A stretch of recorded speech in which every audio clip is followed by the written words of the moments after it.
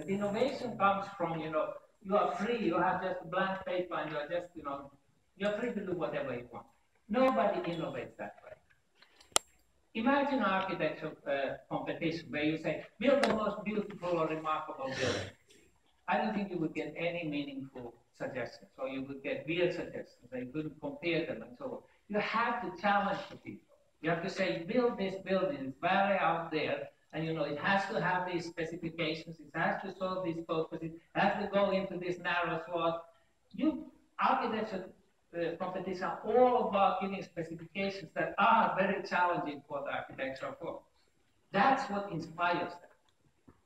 You know, how many like crossword puzzles? Or pseudo? I mean, this this is the simple. Oh, this don't lie to me. One person his hand. You get the bonus.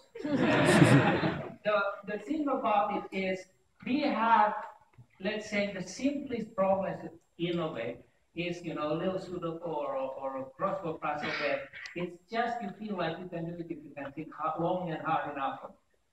That's very inspiring. It gets your attention and you will work on it hard. But if I ask you, you know, make a Sudoku puzzle, you know, you would spend a couple of hours maybe at maximum on it and then you realize you're not going to do it. Because it's hard to make the question, but it's easy to solve on the whole.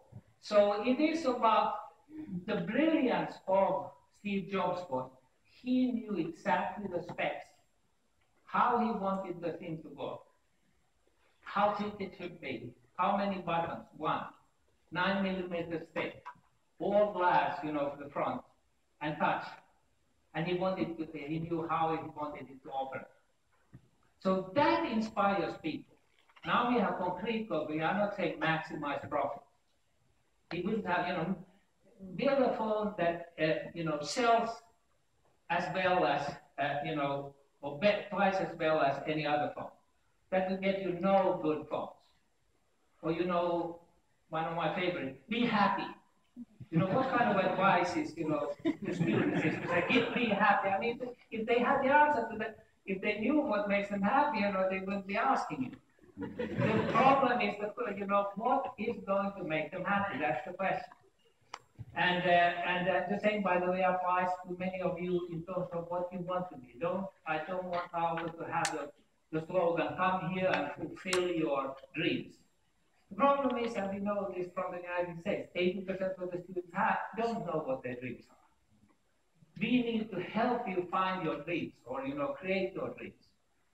So, you know, saying that come here and fulfill your dreams is just like saying, you know, just sit down and, you know, you can handle it all by yourself. uh, be, you have to be supportive. So uh, that's, these are about concrete, measurable goals. I call them innovation boxes because you put people, and the, the, the younger you are, think about the child, you know. The child needs to be in a crib, physically. You know, feels very uncomfortable, starts crying and so on if you just leave it on the floor. And, and isn't that true? I don't know how many of you have children, but you know, uh, you need, there's even this physical sort of sense of, of uh, you want to be in some smaller space because you can control that, you feel safe and control that space. The same applies to this. And as you grow bigger, and if you are successful, say in academia, you will eventually learn to build your own innovation box.